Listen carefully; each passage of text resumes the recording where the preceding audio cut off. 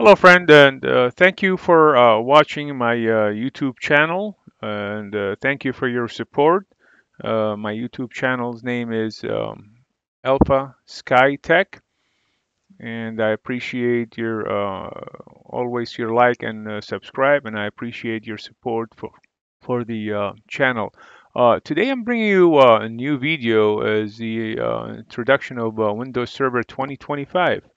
Yes, believe it or not, it's 2025 new server. We currently have 2022, but Microsoft decided to put their new server name is 2025. Um, the server, and this as this article was published by uh, uh, by Jeff here. Uh, we'll see. Um, uh, um, it says introducing Windows uh, Server 2025. Today uh, we are thrilled to announce the uh, official name of the next release of uh, Windows Server. Uh, Windows uh, Server um, 2025, Windows Server 25 is driven by your feedback and your desire to embrace a hybrid adaptive cloud. Uh, and uh, here are the few area we are uh, investing in. So um, basically, they are uh, investing in Windows Server uh, hot patching uh, for everyone, um, next generation um, Active Directory and SMB file share, and also mission critical data and storage, and Hyper-V and AI, and much much more. Um, so um, this is a gonna put this uh, link below uh, also for you to uh, read this and uh, so the most important part of all this you have to have a Microsoft account that's a rule of thumb for Microsoft to have their products. And as this is going to be in review uh, and in beta process so they are they are requiring you to uh, go and register for Windows Insider actually. That's what you need to have uh, first Microsoft account and then you're gonna go and to I'm gonna put the link below. You have to have an account with Windows Insider and uh, after that after uh, you click on the link that I'm uh, providing you're gonna go this to this area and then you're gonna um, select from these options. So there's a lot of options. Today I'm gonna select the first option the Windows Server uh, uh VNext Preview ISO uh, Canary um, build. I'm not gonna select the uh, VHDX although I'm gonna install this server on the Hyper-V. My my Hyper-V is here and I'm gonna install it here. Uh, luckily I have some space on my uh, hard drive and that's what I'm gonna be adding this in there. So basically um, what do you need to select? The reason I'm not selecting this, although this is gonna be a VHDX uh, format, as you know, for um, for uh, virtual machines, and that's what is usually used, but uh, that's if you have a standalone. Actually, you can use that, but I'm going to use this option here and as you can see and then I'm going to go ahead confirm and then says validating. I'm going to go ahead and select the language and we are in the United States. You can select other language as your preference. And so basically you're going to click on uh, confirm. Once it's confirmed and it's going to stay uh, say uh, download now actually. So after clicking on uh, download now uh, basically it's going to go and I'm going to planning to put this on my uh, download um, uh, folder in here. I'm gonna go ahead and uh, click on uh, save. Uh, folks, this is all depend on your speed of your network and and the bandwidth also. And the installation, it's pretty much going fast as far as I see. I have a um, not bad, um, you know, hotspot which I use sometimes uh, mobile hotspots uh, when I'm performing, um, you know, my job or um, when I'm doing uh, the videos uh, tutorial sometimes I have my own hotspot to uh, utilize and that's what I'm doing right now. And um, the download it's going not bad and I'm gonna go ahead and pause and come back once it's finished from downloading actually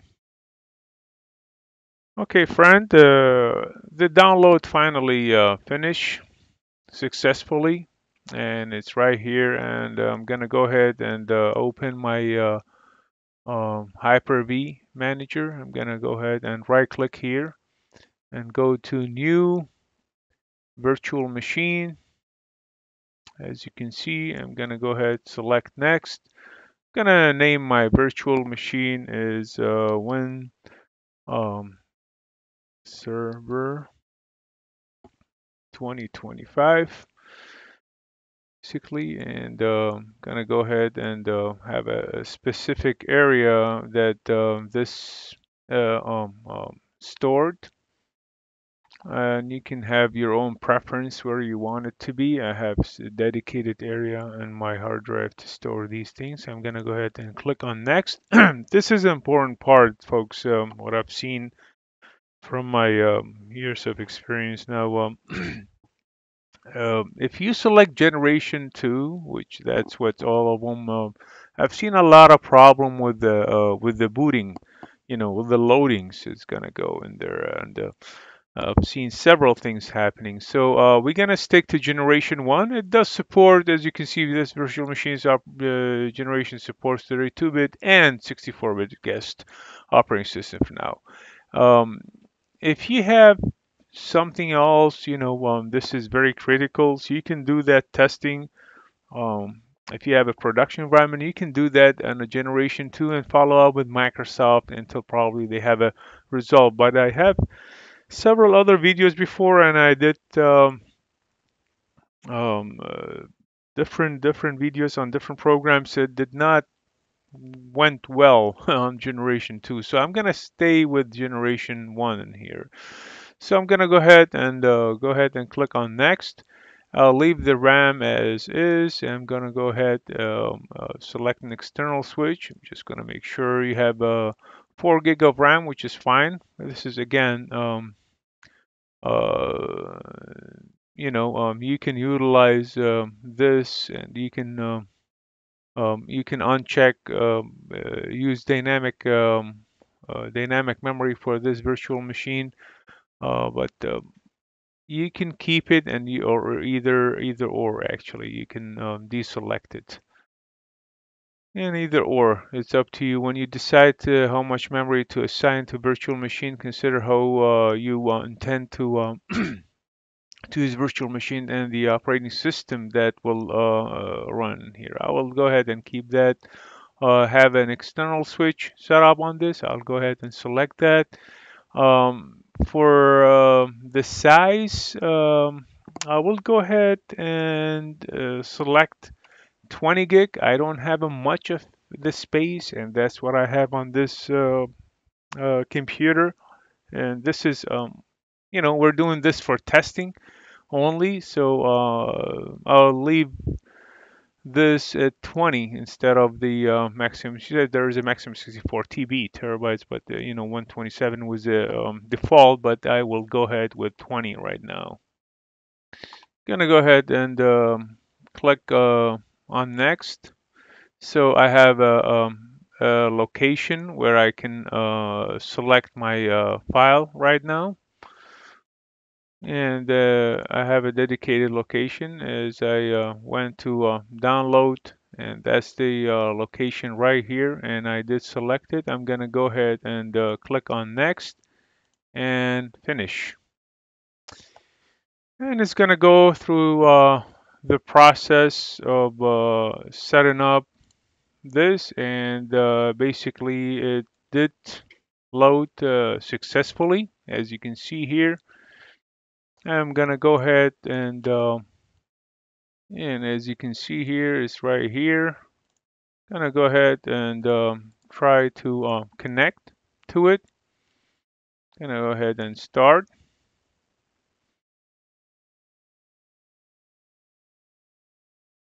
And as you see that the common uh, process of uh, uh loading the first time Windows is is is and probably you guys are familiar with it. And uh, you're going to see this message here, please wait. And you're going to select the language install and uh, the time location, which I leave it as is in here. I'm going to go ahead and keyboard. Um, I'm going to leave it at uh, US. And you have the choice, of course. And also you have the choice here to select your language and time the and, and, and currency too and then we're going to click on next So here, uh, it's going to tell you what do you want to do. You want to repair this. This is also is like usually um, you can uh, have this uh, ISO loaded on USB uh, thumbs for the purpose of repair.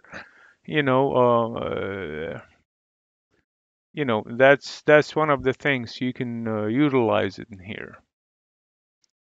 So folks, uh, I do agree everything will be deleted. I understand that. I'm going to go ahead and uh, click on next. So now is the uh, important part actually of all this and I'll provide the link.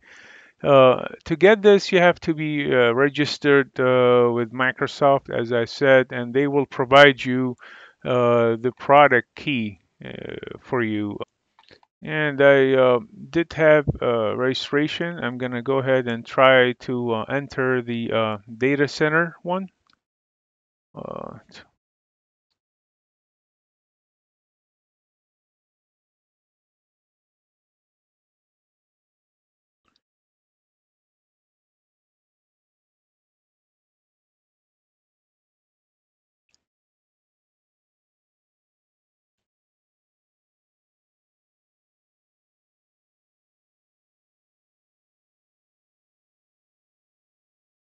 Uh, K M Q W H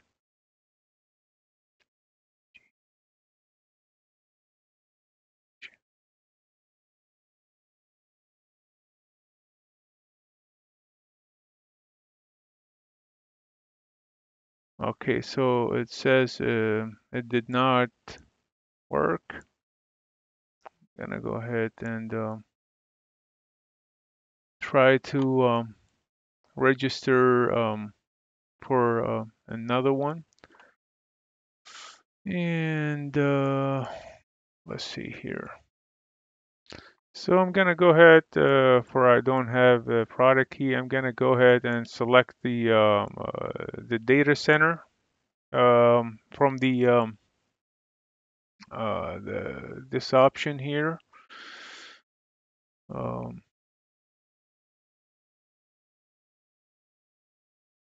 I'm gonna go ahead and select the uh, desktop experience. I'm gonna go ahead and click next. Eventually, it's gonna ask me for um, that uh, folks for um, the product key, and uh, will provide you. There is only one, which I found you. Uh, I went in there and I found it for you guys. So probably the um, it stopped working, but I'm gonna um, find out in a minute for you. Uh, so here it's uh, applica uh, applicable notice and license terms. You can accept that. And it's going to go ahead uh, as usual for the um, the common things. It says here the the hard drive, which I did select, and that's what it's going to be. I'm going to go ahead and click next for that.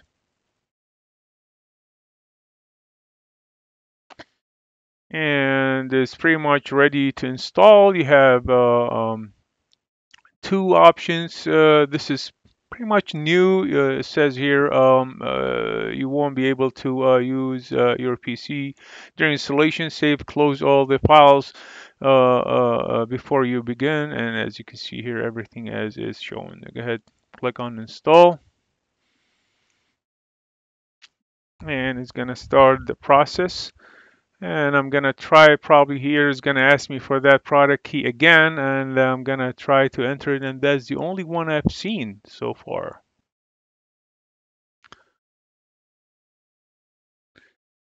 And then this is going from uh, for the um, uh, installing uh, Windows Server right now at 6% folks.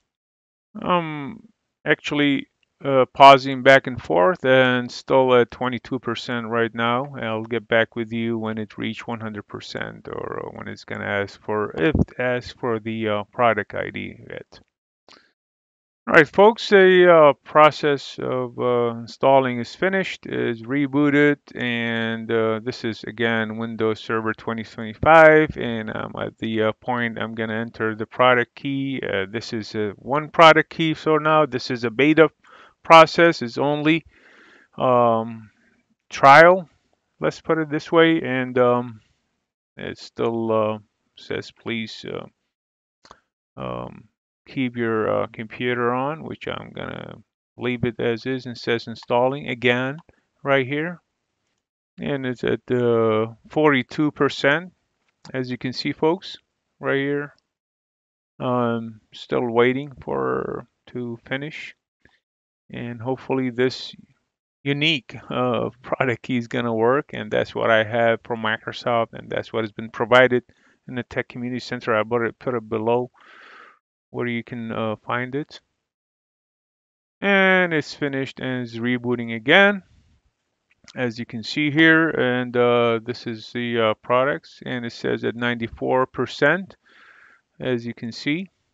And um, still, um, there you go. This is the point where you have to uh, put the uh, product key. Let's do uh, the copy and paste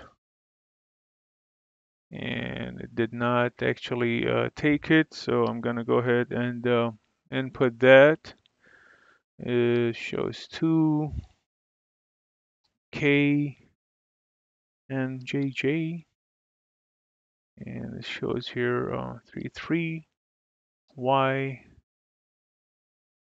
uh, 9 H uh, 2 G X G X K M Q W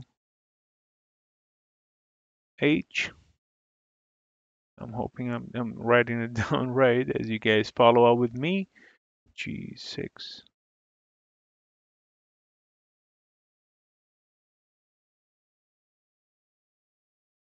Click on next. All right, it went through perfectly. So here it comes with the administrator. I'm going to go ahead and put a password for this. Just give me a second here, folks.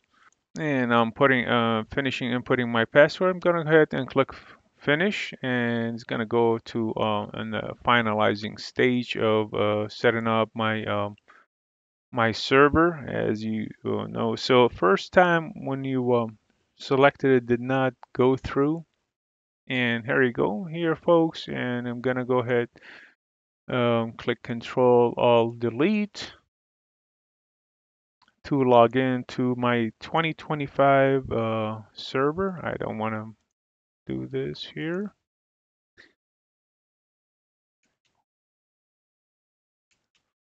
There you go. Please wait uh, for uh, the user profile services. Applying users and here we go.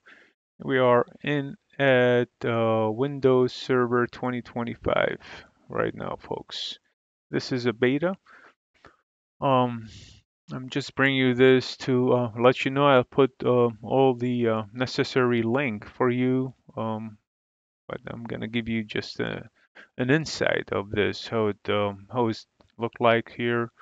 Um, this is the terms as you know Microsoft always have these things uh, terms uh, you get uh, um, accept that and um, there you go. It's just pretty much it looks the same like other servers but um, there's um, as I mentioned to you uh, what it is going to come with. And as I mentioned to you, the, so um, the, this is come Windows Server uh, hot patching uh, for everyone, uh, next uh, generation uh, active um, directory, um, SMB, mission critical data and storage, Hyper-V and AI. So um, pretty much um, everything um, is going to be is to be here and the look it's different i know the background you guys used to but yeah this is this is the 2025 folks this is the server 2025 how to set up and again i will put everything down below the links the all the links necessary for you to um to to uh, try it um, and uh, that's all what I have. Uh, folks, I want to thank you for uh, watching my YouTube uh, channel, Alpha Sky Tek. And as I always appreciate your uh, like and subscribe and have a great and wonderful day. Thank you.